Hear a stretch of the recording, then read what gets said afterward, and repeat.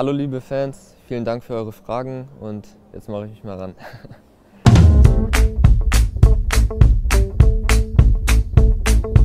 Hallo Chris, ähm, ja, ich habe mich für Bremen entschieden, weil es eine junge Mannschaft ist, äh, wo ich denke, dass ich sehr gut reinpasse. Ähm, ja, natürlich ein großer Verein ist, äh, super Stadien hat, super Fans, äh, ein gutes Trainerteam, ja, wo ich einfach für mich denke, dass ich den nächsten Entwicklungsschritt machen kann.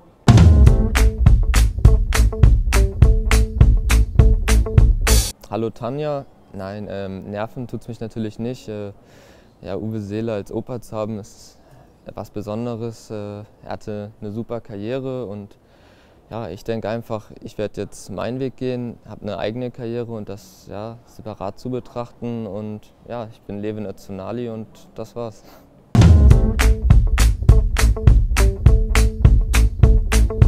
Hallo Christian, ähm, über die Werder-Fans weiß ich, äh, da, dass es treue Fans sind, auch in schlechten Zeiten immer für gute Stimmung sorgen. Auch als ich letztes Jahr gegen Bremen gespielt habe, ähm, ja, war die Stimmung im Stadion fantastisch.